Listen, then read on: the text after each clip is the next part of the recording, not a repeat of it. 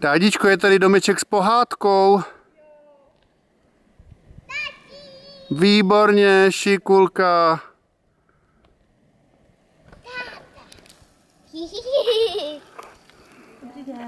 Podíváme se na, na domeček. Věrunko, až na lavičce, Tak až na lavice, dobře. Krásně jezdí.